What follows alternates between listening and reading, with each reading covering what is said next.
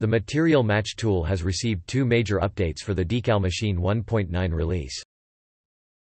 If you take a look at the non-decal materials in this blend file, you'll find only two, the gray and red plastic materials.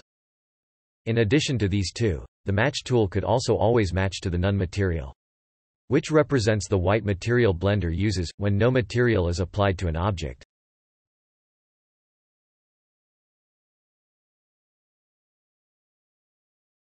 In version 1.9, you can now also match to the so-called default material, which is the basic metal material Decal Machine uses, when storing decals.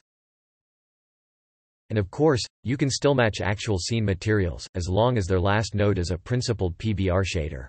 Same as earlier. The second feature addition is related to panel decals. If you match these now, you will see visual indicators that help you identifying which side of the panel decal is the material side, and which is the material 2 side.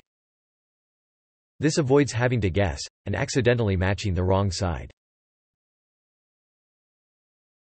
Keep in mind however, that auto-matching panel decals via the Re-Apply tool, has also been improved in version 1.9, and now properly supports matching both sides of the panel decal. As a result, you will likely only be using the Match tool to match subset components, and do the material components via Reapply.